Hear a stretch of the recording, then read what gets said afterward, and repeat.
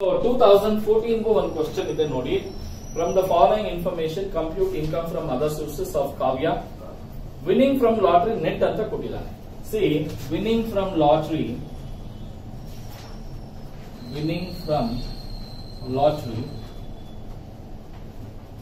one lakh forty net amount ಅಂದ್ರೆ divided by seventy into hundred two lakhs ಆಗುತ್ತೆ. ಕರೆಕ್ಟಾ ಎರಡನೇ ಪಾಯಿಂಟ್ ನೋಡಿ. Interest on fix deposit fully taxable ಕರೆಕ್ಟಾ fixed deposit fourteen thousand five hundred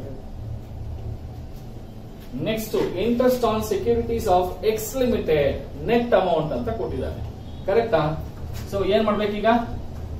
Interest on X limited securities twenty seven thousand divided by ninety into hundred. Thirty thousand ಯಾಕೆಂದ್ರೆ direct ಆಗಿ interest amount ಕೊಟ್ಟಿದ್ರೆ ಏನ್ ಮಾಡ್ಬೇಕು ಅಂತ ಹೇಳಿದ್ದೆ? Divided by ninety into hundred ಮಾಡಬೇಕು. Interim dividend fully taxable interim dividend of Tata company T company ಅಥವಾ Tata company ten thousand fully taxable income from agricultural land in Sri Lanka fully tax ಅದೇ India ಆದ್ರೆ exempt income from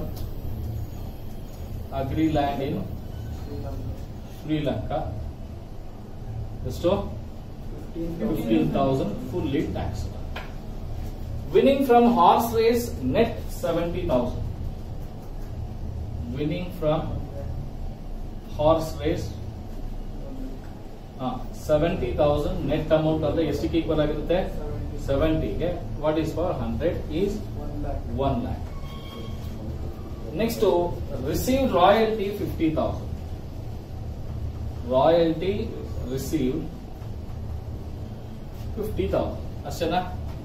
ಇನ್ನೇ ಇದೆಯಾ? ಎಷ್ಟು ಬರುತ್ತೆ? ಹಾ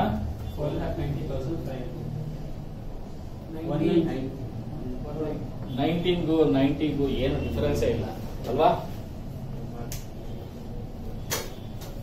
ಮುಗಿತಾ? ಎಲ್ಲ ಫೈವ್ ಫೈವ್ ಮಾರ್ಕ್ಸ್ ಎಲ್ಲ ಮುಗೀತು.